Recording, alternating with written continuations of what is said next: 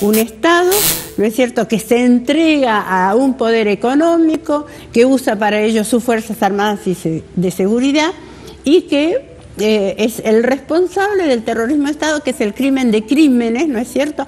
Por eso el, juicio se hizo, digamos, este, para juzgar delitos de lesa humanidad que no prescriben y hay este, querellas en la causa que han pedido castigo por genocidio, de esto vamos a hablar después, y hay otras querellas que hemos pedido castigos en el marco del genocidio, que realmente, como digo, es el crimen de crímenes porque abarca todos los aspectos de la vida social de, de un país. Bueno, y eh, eso fue derrotado fue derrotado en este juicio y eso es lo muy importante, porque no hubo teoría de los dos demonios, no hubo exculpación para los responsables de estas atrocidades, porque por el otro lado podía haber habido, digamos, un levantamiento armado y no hubo eh, tampoco, ¿no es cierto?, eh, em, digamos, las consideraciones que a veces se hacen, bueno, pero eran guerrilleros este, está bien, ¿no es cierto?, que los hayan masacrado y torturado, como dicen ahora, em, digamos, algunos sectores, eran ladrones, bueno, lo mataron con gatillo fácil, que se la aguanten, ¿no? Es un poco la misma familia de pensamiento. Bueno, ese pensamiento fue derrotado drásticamente en este juicio y se ve en el, y se ve en el veredicto y todos los hechos que allí fueron expuestos para que se tome una decisión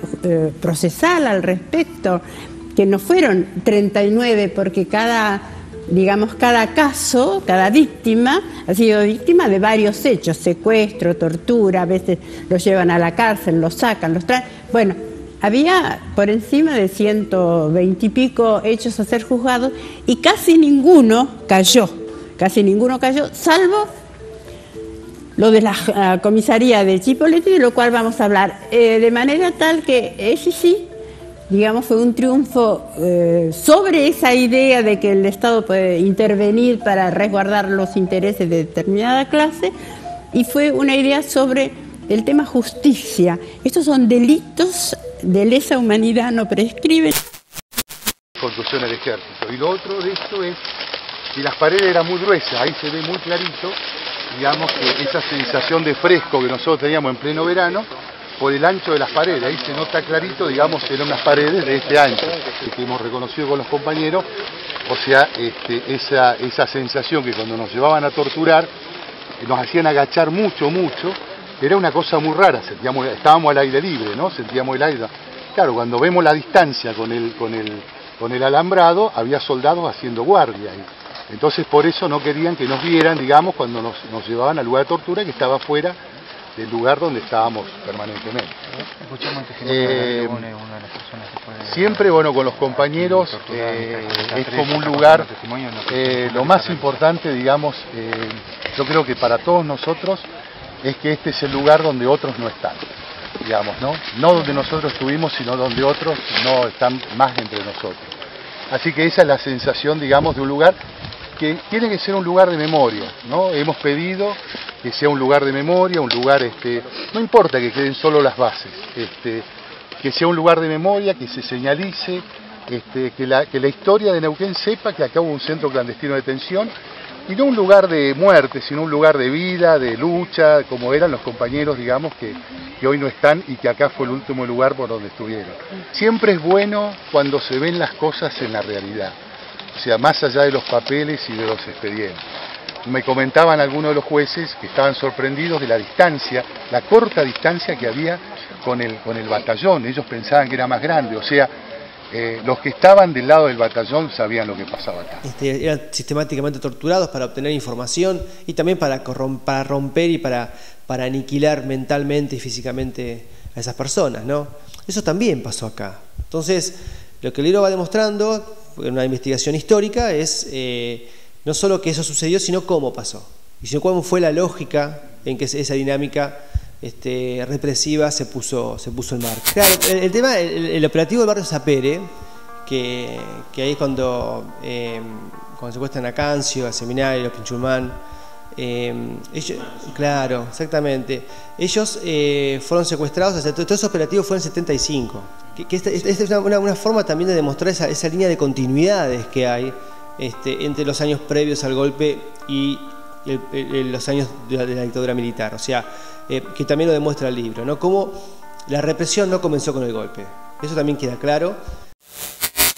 Y trato de trabajar eh, esas líneas de continuidad que hay también, pero tratando de hilar fino en el sentido, eh, para evitar generalizaciones como que fue todo lo mismo también, porque no fue lo mismo. O sea, los años del tercer gobierno peronista, donde hubo mucha represión y hubo mucha acción clandestina y mucha violencia política por parte de los grupos estatales y paraestatales eh, hacia, hacia la sociedad, Em, y que, en los cuales uno encuentra elementos que puede decir, bueno, hay, continuidades entre ese tercer gobierno peronista y la, y la, dictadura militar en tanto las dinámicas represivas, pero no fueron iguales. Hay, hay elementos que permiten eh, demostrar que no fue lo mismo, eh, no fue lo mismo, insisto, el, el gobierno de Isabel que la dictadura militar.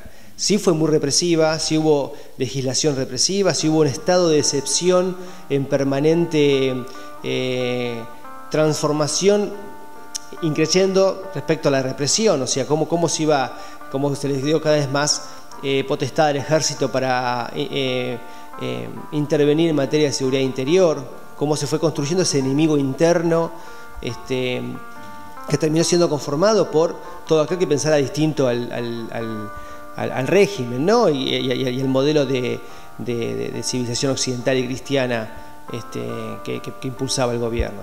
Este, todo eso empezó antes del golpe eh, y, por ejemplo, el operativo de Barrio Zapere, en a mediados del 75, lo demuestra.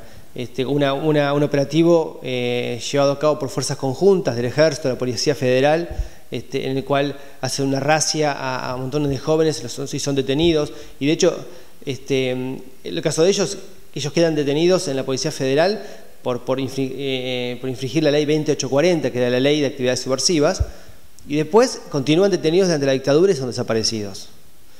O el propio operativo Independencia, que te referías vos recién, que comienza, que es en Tucumán, este, en, a comienzos del 75, este, también es, un gran tubo de ensayo que se hace. Fue, no, no, fue en Tucumán, fue en el sur de, Tucumán, este, contra el el comando Rosa Jiménez del PRTER, que fue para que, fue realmente o sea, una, una, prueba, eh, un tubo de ensayo de lo, que después sería la, implementación del plan represivo, ¿no? O sea, ahí se sancionó un decreto secreto, el 265, en el cual se le da se autoriza a las Fuerzas Armadas, se ordena a las Fuerzas Armadas la intervención en el territorio para aniquilar el accionar de la subversión. Y esos términos van a ser los que van a ser utilizados posteriormente, en, octubre de 75, cuando se sancionan los, los ya tristemente célebres decretos de aniquilamiento. Los decretos 27, 70, 71 y 72 son tres decretos en los cuales se autoriza a las Fuerzas Armadas a intervenir en todo el territorio nacional eh, con el objetivo de aniquilar a la subversión. Este, y por eso digo, estos tres decretos, más el decreto este el 265 de comienzo de año son, son los decretos, los denominados decretos de aniquilamiento que eh, instauran definitivamente y de manera normativa la figura del enemigo, enemigo interno y, esa, ese accionar en seguridad interior por parte del ejército, que es lo que después cristaliza la dictadura. ¿no?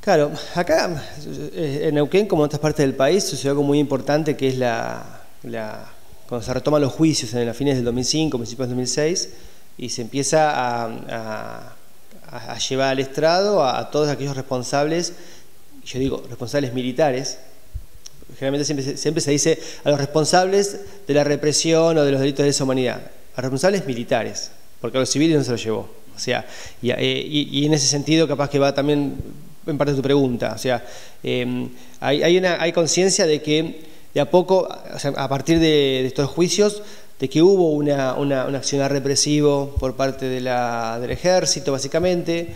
Las policías eh, tardíamente también entraron en el, proceso judicial. Eh, de hecho, el primer juicio que se hizo en el año 2008 se, llevó, eh, se imputó nada más que a ocho, a ocho militares, siete de ellos oficiales y un suboficial. Y recién en el segundo juicio que se hizo en el 2012 se, se imputó a policías de la provincia de Río Negro, no de Neuquén y algunos gendarmes. Em, y entonces, digo, eh, demoró más la justicia en, dar cuenta de, que, de que, había, eso, que había responsables que era necesario llevar a, juicio que, más allá del ejército. Y aún así, eh, digo, en el año 2011-12 se empezó a investigar, 13, 2013 se empezó a investigar a, los funcionarios judiciales, ¿no? básicamente al juez este, Pedro Laurentino Duarte y, al fiscal Ortiz, eran dos, fueron dos este, sujetos de los cuales hay prueba de su participación en la...